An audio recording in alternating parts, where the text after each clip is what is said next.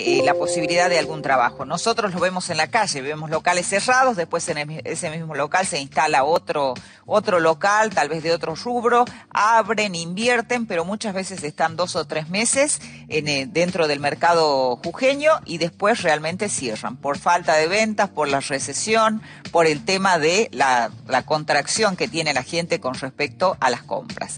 Y otros que tienen una bolsa de trabajo y sí tienen un censo muy claro son la gente de la UOCRA. Los trabajadores de la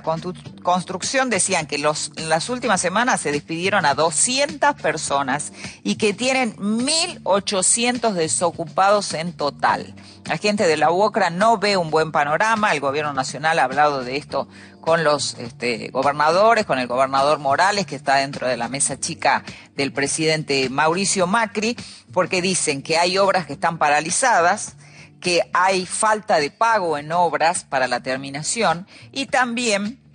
que eh, esto eh,